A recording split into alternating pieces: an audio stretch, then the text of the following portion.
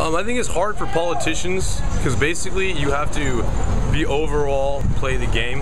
And I think she had to make a career choice where it actually is illegal. If it is illegal and that's the law and you're a politician, you have to follow the law. The fact that she has an illegals is the fact she probably wants to support the Latino community. But there also is the other side too, that there's too many people, that we can't have a free-for-all and open border.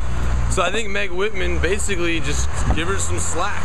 She's a politician, okay? You can't do illegal stuff as a politician.